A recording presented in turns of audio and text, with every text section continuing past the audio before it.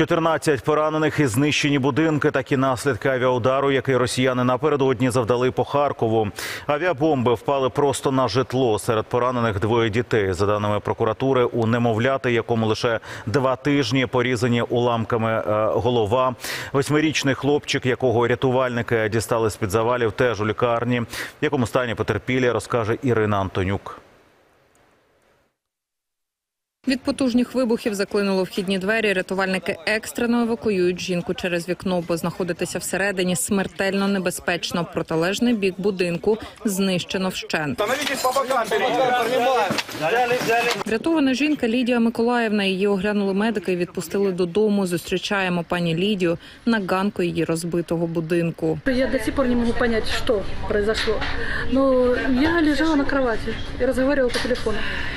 Когда услышала этот прилет, еще и сказала по телефону, вот ты слышишь, что прилетело? А- А потом начали лететь стекла и штукатурка сыпаться и на свете. Я говорю, так это говорю, нас разбомбили. Каже, немає ані порізу, але до тями ще не прийшла. Ну, конечно, тяжело.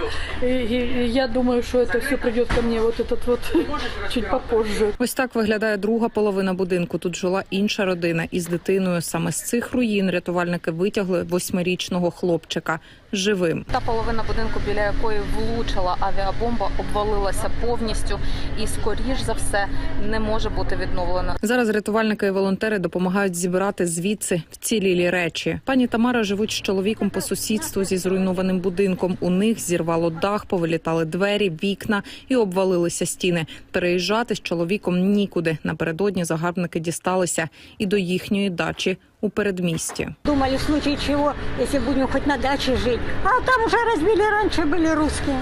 Пані Тамара дуже хвилювалася за чоловіка. На Юрія впав тяжкий вішак і зламав йому руку. Трохи заспокоїлася, коли привезли додому. Мне операцию, в принципе, не взять. У меня два инфаркта в сердце. Поэтому наложили ой, повязку. Это один из способов.